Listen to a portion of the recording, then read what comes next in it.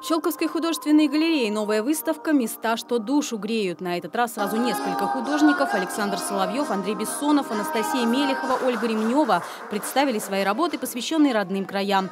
Андрей Бессонов живет в Загорянском. Местные пейзажи часто пишет с натуры. На одной из работ он изобразил зимний вечер в поселке Валентиновский. В свое время учился там у одного художника, как бы он учитель мой, преподаватель. Вот, и как-то от него пошло. То есть он пейзажист был.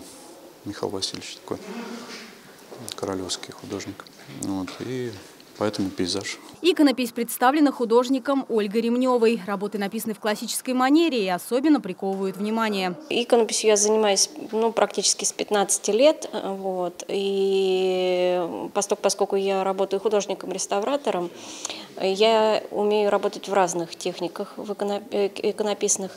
Вот, и мне интересно работать э, как бы от э, Андрея Рублева уже таких же техниках плоскостной живописи до более живописных. Здесь в основном этюды, и когда ты находишься на этюде, ты вот э, это состояние свое, нахождение на природе, да, как э, состояние природы передаешь живо очень, и довольно-таки, я думаю, что эмоционально получается работа. А вот работа полной экспрессии и поиска. По словам автора Александра Соловьева, эта картина с изображением Оболдинского храма далась ему непросто. Эта работа мне очень долго не давалась, я никак не мог э, найти зацепку, развязку.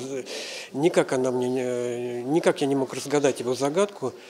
Вот. Но в конце концов я, я сделал нечто свое. Я много лет ездил на это место, искал эту точку. Наконец я разгадал эту точку. Вот. Потом пытался поймать состояние ездил в разное время э, года и в разное время дня. Своими глазами увидеть картины инсталляции, представленные на выставке «Места, что душу греют», можно в галерее до 12 декабря.